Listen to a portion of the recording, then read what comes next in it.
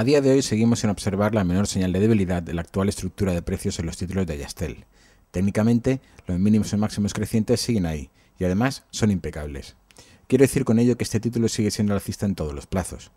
Muchos se preguntarán si es un buen momento para comprar ahora, y lo cierto es que no hay respuesta para esa pregunta. Me explico. Este título es muy alcista, pero ¿acaso no viene siéndolo desde hace ya muchos años?